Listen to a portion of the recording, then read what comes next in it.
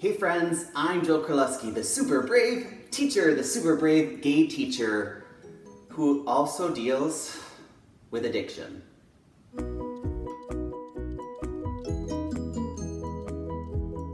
So I always say good teachers take things they've learned, things that they've digested, and make it their own. So this is not a new concept. This is something that I've been reading a lot about with Shauna Niequist.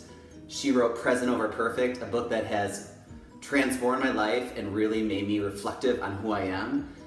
So I'm here to talk about addiction. So you might be thinking, why do you want to talk about addiction today, Joel? You have so many other things you could talk about. Why addiction? Because it's time to destigmatize it. It's time to stop ranking addictions from the worst addiction to, oh, that's a pretty healthy addiction. Do you hear what I just said? Healthy addiction? Addictions for me are things that I do in my life to fill voids in my life. I still have a lot of voids in my life that I'm trying to fill and figure out for myself. The void of how do I fill the void of family? How do I fill the void of not feeling like I'm enough? How do I fill the void? There's just so many. And for me, I do that through the addiction of work. But guess what? I figured out work and I have this great balance I leave school every day by 4 p.m., so I must not be addicted to work. I'll specify it. I'm addicted to busyness. I am the person who takes his day, takes his schedule, and literally maps out in my head every single minute of every single day. If you got into my brain right now, you would be exhausted. And I say that not to brag because I think our society would be like, yes, show us your secrets. But to say that I'm not okay with it. And I'm not okay with being addicted to busyness. I'm not okay with using busyness as a drug of like, look at me, I'm accomplishing something. Even though I'm I have the morning off, guess what? I cleaned the house and I made dinner and I prepped meals for the week and I did laundry and everything is set and I'm filming all these videos. So look at me, I'm super productive. And then getting reinforcement by saying, okay, Twitter, like this, okay, YouTube, give me stickers. It, for me, is a true addiction and something that I need to call out in myself and say, no more. A question my husband always likes to ask me, and a lot of people, is how is that working for you? And he says it so gently and without blame. He just says, how is that working for you? When I think of my busyness, 90% of the time, it does work for me. I, it is good for me to have a schedule. It is good for me to have a plan. I don't think any of that is a bad thing. So I'd say 90% of the time, busyness is a great thing. But then when busyness turns to exhaustion, when busyness turns to my body breaking down physically, when bu busyness turns to headaches and wanting to come home and just lay down and not do what I'm destined to do, which is be connected to people and have relationships with people, when it takes me away from the core of who I am, I know I need to call myself on it. So this is what I'm doing about it. It's something I call take two or gimme two.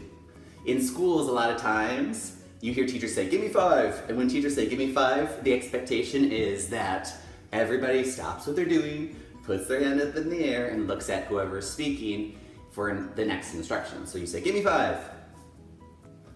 What I'm doing is called give me two. And I am practicing slowing down and feeling what I feel and noticing what I feel. And when things start coming up and I start feeling overwhelmed and overly busy, I say, give me two. I might say that out loud to my husband or the teachers I'm working with or my assistant or anything like that and say, give me two. And then I find a way to quiet myself down. For me, it's usually going on a walk or just closing my eyes and breathing. Give me two. And it takes me away from the busyness and it takes me away from the pull of the busyness and it takes me away from everything that's not who I am and it returns me to me. So, yeah, give yourself two. I encourage you to say, give me two. And if you need to proclaim that, give yourself two. That's okay. Now, normally I say, leave a comment below, tell me what you're thinking. And if you want to leave a simple comment below, awesome, I appreciate it. But realize that addiction is a big deal. Not just for me, for I believe everyone. And I am not a licensed psychologist. I'm not a certified therapist, coach, anything like that. I am a super brave teacher and proud of it, but I am not the person to go to for professional help. So I encourage you, if you need that professional help, get that. Because your story, your full story, is worthy of sharing with people who can hold your story. So with this channel, I'm being very selective with the stories I choose to tell, that I choose to share with you and let you hold, because I know that you can hold this. I am not choosing to share my full story yet on this platform because it is my story that I want to honor and share with people who can hold it on a deep, rich level. So I encourage you to do that. Continue to share your story with your community, with your community of family, friends, and loved ones, and to find professional help when you need it because it's overwhelming and you are enough and you are worth it and you are special because you are you. And whatever void you have, you don't need to fill it with things that remove you from being connected to yourself, being connected to others, being connected to love. Yeah. I'm just gonna end with that.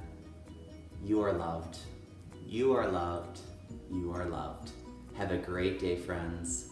From the Super Brave Teacher to you. Bye.